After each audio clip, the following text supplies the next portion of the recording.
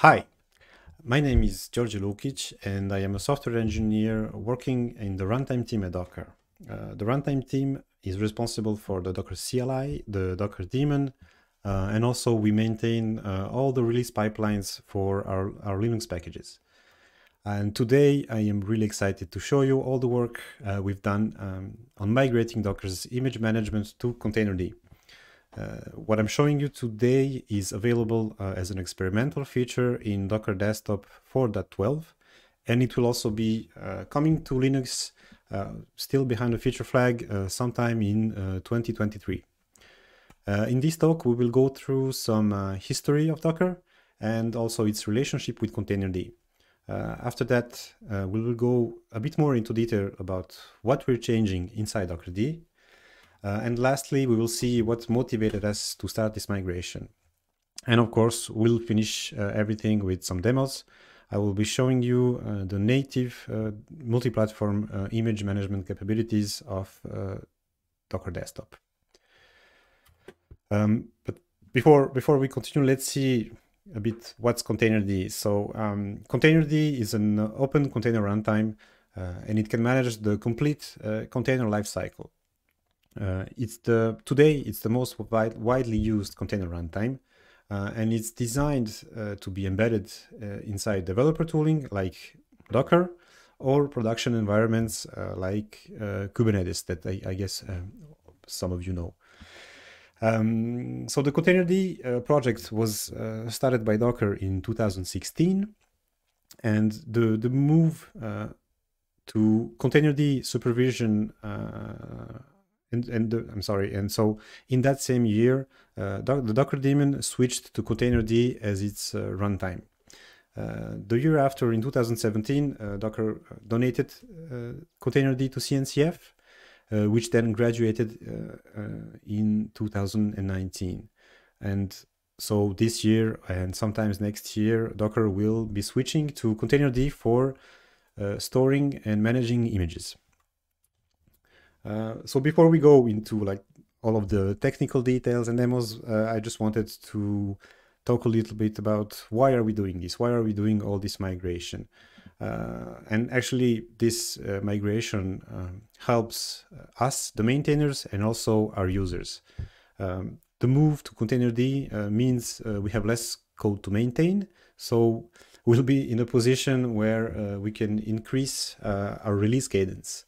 Uh, so to put more simply, uh, we'll be able to release more features, more features more quickly. And incidentally, also we will be uh, we will be working more closely with the Containerd um, maintainers and helping them also uh, when we find uh, bugs or um, uh, implement some new features into Containerd. Um, this, this migration will give us um, uh, a native multi-image uh, management support. And also we will be better aligned with the OCI, which is the uh, Open Containers Initiative.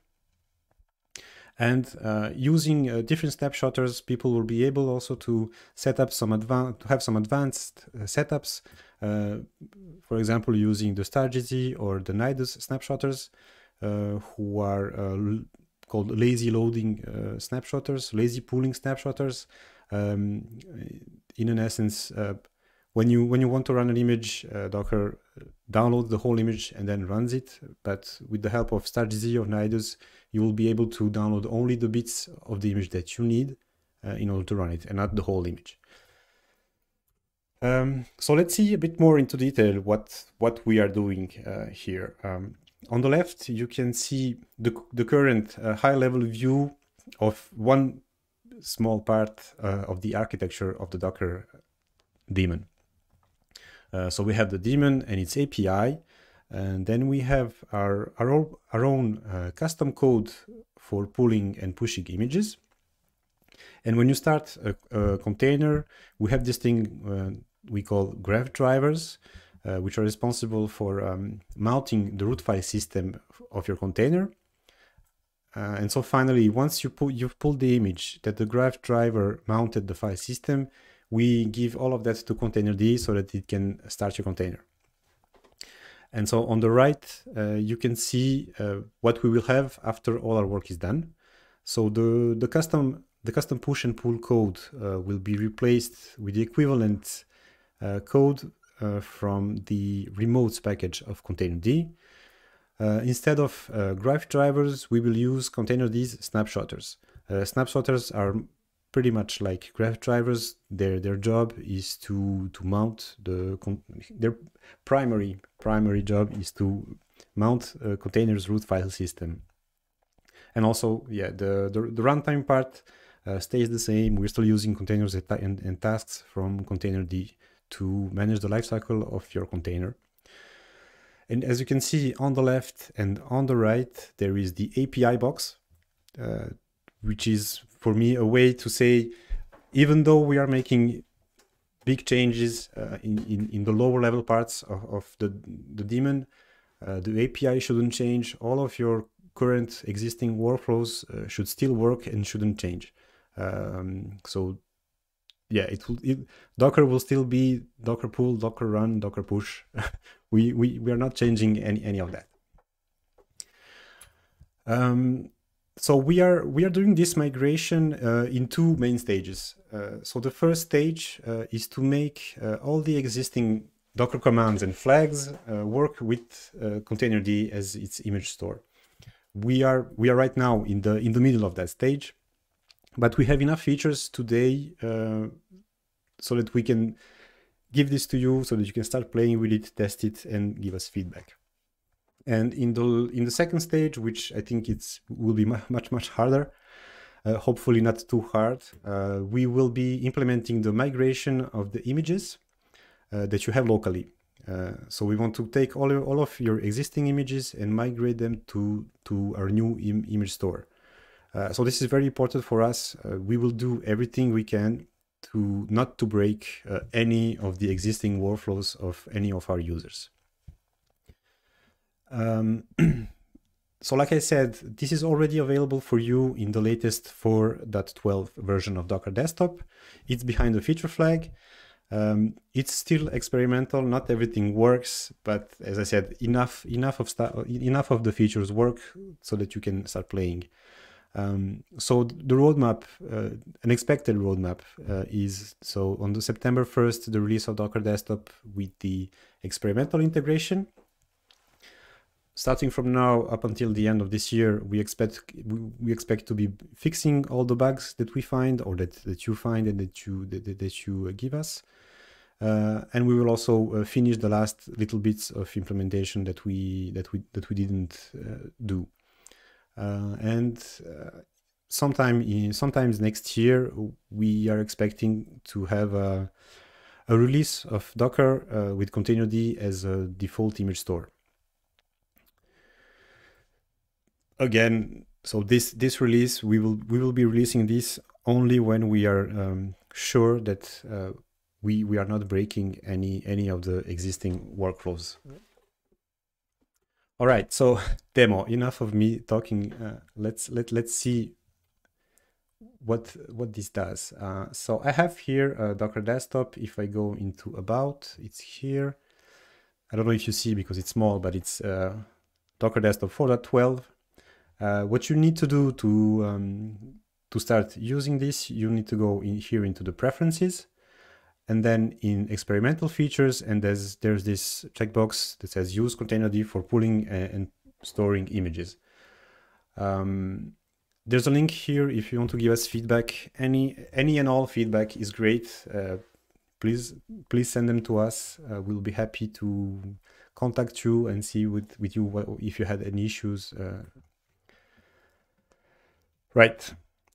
So now let's see what can we do. Um, I just want to make sure first that we are uh, using the right Docker daemon. So if we look at uh, Docker info and scroll a bit up, you can see here in the server version, there's the, this is the 2206 something beta something something. So this means that you are using the, the Docker daemon that has containerd, um, that, that, that uses containerd as its image store.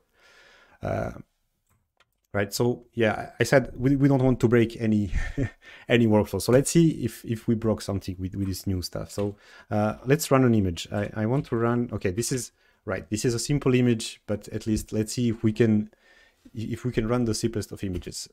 Um, so if I run, you can see Docker uh, sees that it doesn't doesn't have the image. It will pull it for you and then run. So hello from Docker, everything works as expected. Um, we can even let, us see if we can uh, run uh, containers that have networking. So if I Docker run, um, let's open the port and the nginx image. Again it doesn't it doesn't we, we we don't have it so we pull everything.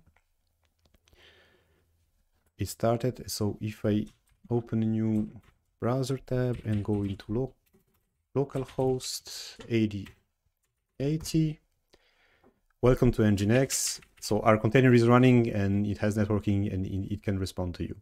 Uh, i don't want to to go too much in, in, into like demo demo demo details uh, but yeah uh, mounting volumes uh, publishing ports everything you use every day uh, should work uh, i have one last demo and it's like i said the native multi-platform images um, support uh, so i have here a simple docker file it's nothing that should go in, into production it's really simple we are using ubuntu uh, and when you run the container, it will echo hello.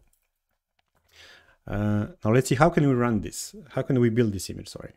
Uh, so we we, with with the containerd store, we are now able to do this. We are able to docker buildx build and then say we want the platforms. Um, I want Linux ARM64 and I want Linux uh, AMD 64. Uh, let's give it a tag, um, demo, and then the context. So if I, if I now run this, this will start up um, BuildKit, and BuildKit will uh, build both images. I mean, we'll build the image for the two platforms. So you can see here there's AMD 64, there's ARM 64, and if we look at Docker images, uh, we can see my image here. Uh, let's see if, if it runs.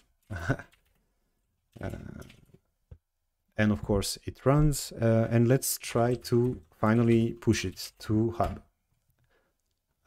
up. And while it's pushing let me open up. So it, it pushed everything and if I go to to my hub page uh, we can see uh, we can see my demo which was pushed a few seconds ago of course. And the latest tag as you can see it's really a, a multi-platform image that we that we just built. And that's all I had uh, for, for the demos for you today. Um, once again, uh, if you if you test it, please do give us feedback. Um, if you have any any any wishes, uh, you can contact us in our. We are in the community Slack. Um, we are we are we always respond in the community Slack. There is a um, there is a Moby project uh, channel uh, so come say hi, uh, test it please, and um, thank you, thank you all for listening. Uh, bye.